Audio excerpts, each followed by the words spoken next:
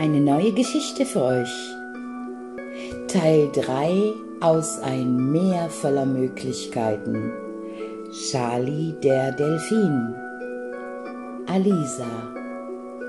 Eine Geschichte in drei Teilen von Nicole Kreativgalerie. Im Sonnenuntergang des spiegelnden Meeres umschwammen sie einander Ihre Flossen berührten sich sanft. Doch welche Zukunft hatte ihre Liebe? Wie sollten ein Delfin und eine Meerjungfrau zueinander finden? Alisa wusste, sie musste zu ihrem Vater. Arthos erlebte auf dem Grund des Meeres. Sie fürchtete sich. Wusste sie doch, ihr Vater würde wütend sein. Ihre Mutter, ein Menschenwesen, lebte schon lange nicht mehr. Seit dieser Zeit war ihr Vater sehr herrig und regierte sein Volk auf dem Meeresgrund mit harter Strenge. Ihm wurde zugetragen, dass seine schöne Tochter sich seit längerem mit einem Delfin abgab, mit einem in seinen Augen primitiven Wesen. Alisa wollte zu ihrem Vater, denn nur er hatte die Macht. Er war der Zauberer der Meere. Alisa wollte um die Liebe zu Charlie kämpfen. Sie war bereit, ihr Dasein zu opfern. Arthos, er schenkte dem Meer die Wellen, die Strömungen. Er hatte die Macht, Leben zu geben und Leben zu nehmen. Charlie wollte Alisa nicht verlieren. Lieber würde er ein Dasein ohne Vollendung mit der Liebsten führen, als auf sie und dem hellen Klang ihrer Stimme zu verzichten. Röhr führte ein langes Gespräch mit ihr. Alisa wusste, sie wollte ein Leben mit Charlie, auch wenn sie dafür auf so vieles verzichten musste. Es donnerte. Sturm war angesagt, als Alisa mit Charlie an der Seite ins Reich der Meere hinabschwamm. Blitze zuckten im Wasser. Sie spürte, es war Artus ihr Vater, wütend über das Verhalten der Tochter. Sie war eine Meerjungfrau. Das war nach des Vaters Willen ihre Bestimmung.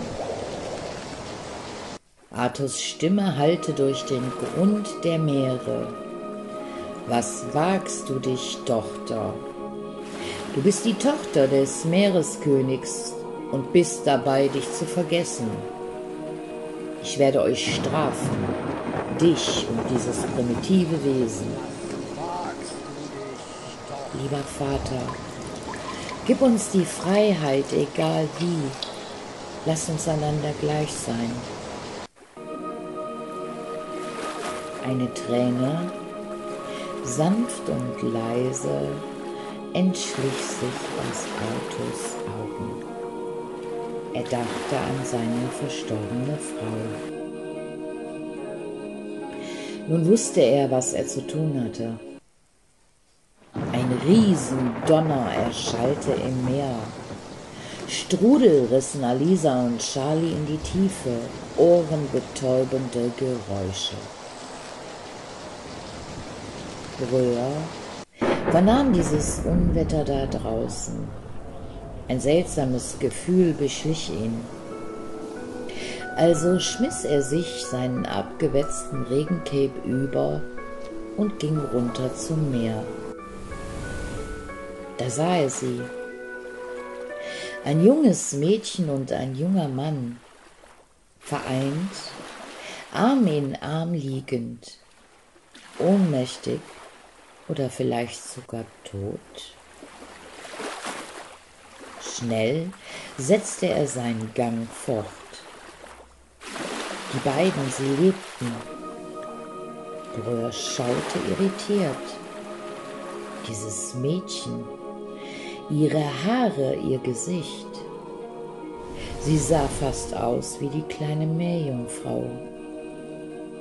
Doch wer war dann der junge Mann?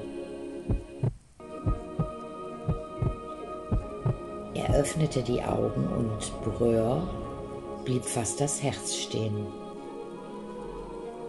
Fast konnte er es nicht glauben. Es dauerte Wochen, bis Alisa und Charlie stark und kräftig genug waren, ihrem neuen Dasein sich zu stellen. Alisas Vater Athos hatte ihnen ein gemeinsames Leben geschenkt und hatte sie zu Menschen gemacht. Heute leben sie an der Küste Ostfrieslands und Charlie wurde ein Fischer. Denn noch immer liebte er die Freiheit der Meere. Er, der in einem anderen Leben ein Delfin gewesen war, lebte glücklich und zufrieden mit seiner geliebten Alisa. Und am Abend sitzen sie häufig am Meer und Alisa singt für Charlie mit ihrer noch immer so klaren und hellen Stimme. Das war Teil 3 aus Charlie der Delfin. Nun, ich hoffe, es hat euch gefallen und vielleicht folgt ja noch die ein oder andere neue Folge. Wir werden es sehen. Eure Nicole, Kreativgalerie. Nun, das war mal eine Märchenstunde von Nicole Kreativgalerie mit Fotografien von Ostfriesland. Ich hoffe, es hat euch gefallen.